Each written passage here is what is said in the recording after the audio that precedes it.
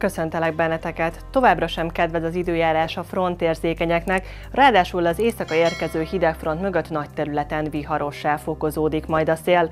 A következő egy-két nap még hasonlóan telik, viszont vasárnaptól már határozottabban változni fog időjárásunk, mégpedig nyugodtabbra, csendesebbre fordul az idő.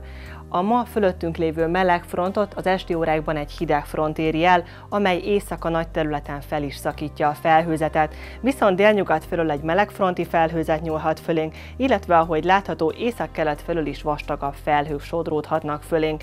És ami még feltűnik ezen a felhőzet animáción, az egy újabb frontális felhőzet, amely majd pénteken fogja elérni hazánk térségét. Az előttünk álló éjszaka folyamán a fölöttünk lévő záporos csapadékgócok azok egyre inkább délebre tevődnek, majd a hajnali órákra már mindenütt megszűnik a csapadék tevékenység. Nagy területen felszakadozik, csökken a felhőzet, viszont a délnyugati tájakon, illetve az északkeleti vármegyékben felhős, sőt helyenként párás, ködös maradhat az idő.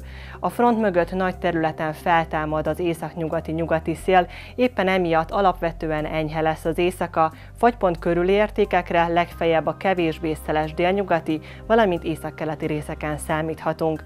Aztán holnap a reggeli délelőtti órákban tovább erősödik a szél, nagy területen számíthatunk majd viharos erejű széllökésekre, helyenként akár a 90 km per órát is elérheti, vagy meghaladhatja a széllökés. Emellett egyébként a felhőket is gyorsan viszi majd a szél, éppen emiatt felhőátvonulásokra számíthatunk általában több órás napsütéssel, és legfeljebb néhol fordulhat elő zápor, a csúcsértékek pedig nagyrészt 10 fok körül vagy a fölött alakulnak. Az északkeleti tájakon viszont több maradhat a felhőzet, így ott a maximumok is várhatóan alacsonyabban alakulnak majd kicsivel.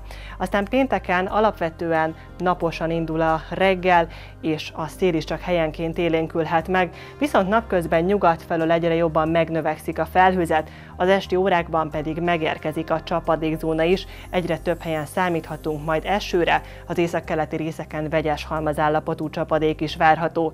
Viszont szombat reggelre a csapadék nagy része az már le is vonul kelet felé, mögötte ismételten felszakad a felhőzet, és a szél is nagy területen megerősödik. Vasárnapra viszont már csillapodik a légmozgás, ekkor inkább csak a keleti részeken lehet felhősebb az ég, és ott van esély arra, hogy zápor vagy hózápor előforduljon. Aztán a jövő héten alapvetően csendes marad időjárásunk, csak az északra vonuló frontok érinthetik majd térségünket. Én ezzel pedig szeretném is megköszönni a figyelmeteket, és további szép napot kívánok nektek, sziasztok!